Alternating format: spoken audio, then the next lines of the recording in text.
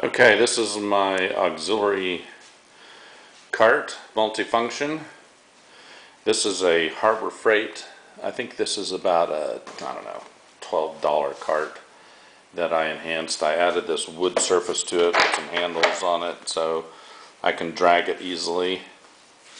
I also added a uh, AC strip here, so there's one single cord you plug in and then all the tools plug in right here, obviously.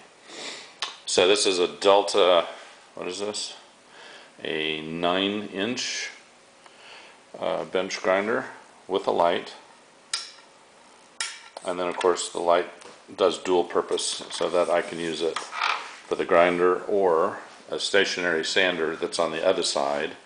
And of course you just spin the cart wherever you need it. This is stationary belt sander uh, Delta 4 inch belt, 6 inch disc.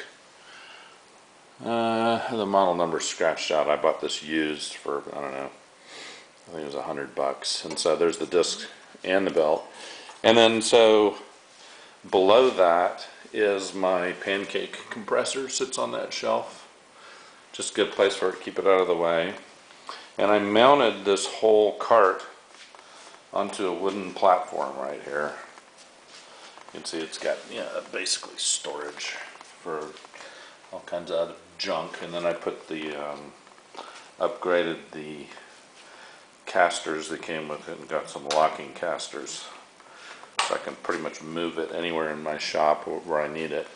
On the, uh, underneath the, uh, bench grinder itself, this is just an old cookie sheet that I mounted the, uh, grinder through to the top. And the reason is, is that all, all, you know, all the metal fragments coming off of these wheels basically can burn the wood. And so I, I just figured that was, it was sitting around.